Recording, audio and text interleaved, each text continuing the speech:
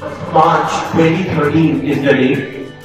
The one of the coldest evenings of the year, and one of my childhood friends, school friend, his father expired, and he immediately gave me a call that he was in Delhi. That you know, I need to immediately come to Delhi, and this has happened. And the good old saying, friend is a friend in need. I wanted to be with him in this dark hour. But the problem was, I was checking up the flight tickets and there was no ticket available. Because I just had to travel in an emergency. The next flight, because of fog, was perhaps next evening. Trains in an emergency were not available. I decided to take the car. My mother stopped me four or five times. She said, Beta, it's too foggy, you don't go and drive tonight, you go tomorrow, it will not make a difference. I said, it will make a lot of difference to my friend because you know to stand by friends, to stand by our colleagues is always a good thing to do in times of need. So I decided to take the car. It was approximately 5 p.m. The sky was clear, absolutely clear. And I started driving towards Delhi. And by the time it was 8.50 or 9, it was totally foggy.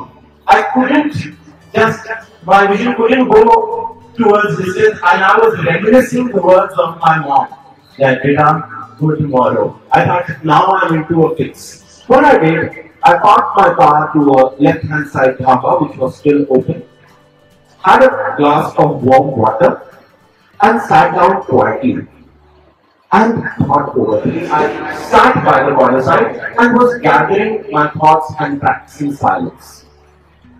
You know, a thought came to my mind, which was move on. Your friend is in need right now. And you don't need to look the whole way right to Delhi. Just look at the next 200 meters and reach them. I thought, wow, I, if I can just manage the next 200 meters and next 200 meters, the next 200 meters will unfold. This means my car is driving in the fog.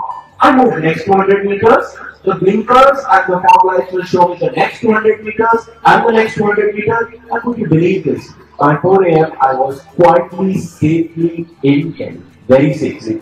I have noticed most of the children who came to me and said, Sir, I'm in total fog, I don't know, and they were from class 10, from class 6. So how will I get into IIT? How will I, if a class 12 student says so, it's okay. How will I get into Harvard?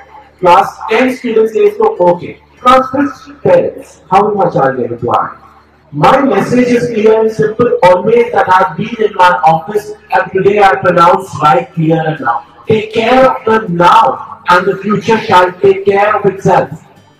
Take care of the next 200 feet and the remaining distance will take care of itself. You're in class 9, perform brilliantly in class 9. You're in 10, you perform brilliantly in class 10. If you are in similarly 11 or 12, you perform brilliantly there.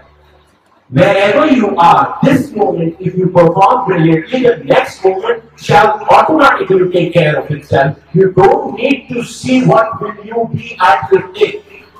You need to have a vision. I'm not saying that don't plan. Plan. Of course plan. But you don't need to be tensed about it, what will happen on the next step, next step. Take care of this moment and the next moment shall take care of itself. I summarize my three lessons. Lesson number one. Whatever you give back is generously donated back to you. Give only that which you want to receive back. Lesson number two. The laws of the universe never fail. They always honor individuality. Don't follow copycat mentality. Follow your own unique path. And lesson number three. Live in the present moment while cautiously planning for the future. But your 80% or 70% focus should be the present, only 30% in the future. Finally, a saying that I've been saying time and again for my young children, and that is, I repeat it for the one final time. अर्ज़ किया है सीढ़ियाँ मुबारक हो उन्हें जिन्हें छत तक जाना है सीढ़ियाँ मुबारक हो उन्हें जिन्हें छत तक जाना है आसमां हो मंजिल अगर तो तुम्हें अपना रास्ता खुद बनाना है खुद बनाना है। थैंक यू एंड जय जगत